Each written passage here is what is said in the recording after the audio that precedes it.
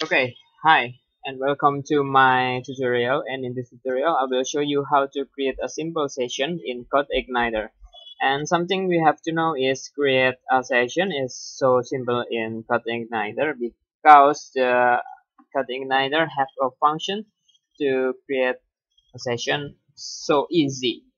Okay? Uh, first uh, I have to uh, save a session from this username. And then simply I can add uh, this session set user data. And this is a key.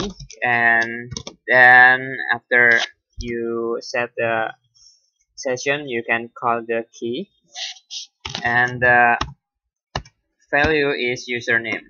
And how to store this value of the session is just simply you can add the echo this session uh, user data and username. Just this is the form okay? And now I have to back to my browser and refresh this and then add my data. And now oh I have an error because I don't set the session from the autoload file. And simply you can add the session in your config. And now your autoload. And then add the session. Okay. And after that I have to reload this continue. This is my session value. Okay? And now I have to uh, show this session in my new view. Okay? Just simply you can add the file. File and I will name it with after login. Okay and I will add the container fluid this is a class from the bootstrap.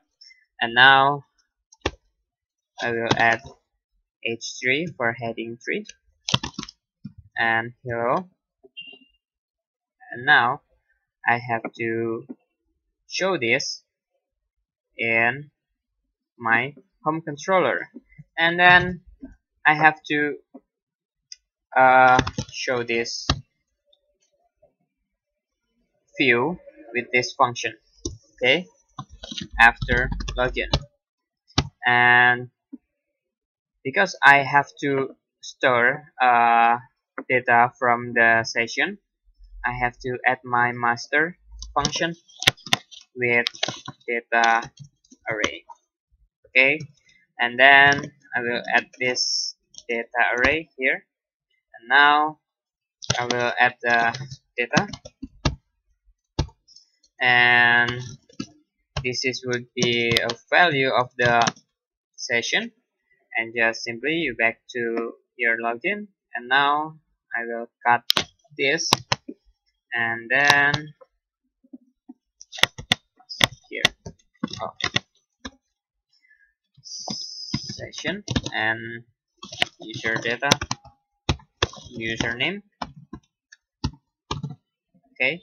And I will add my master view with home. This is a directory.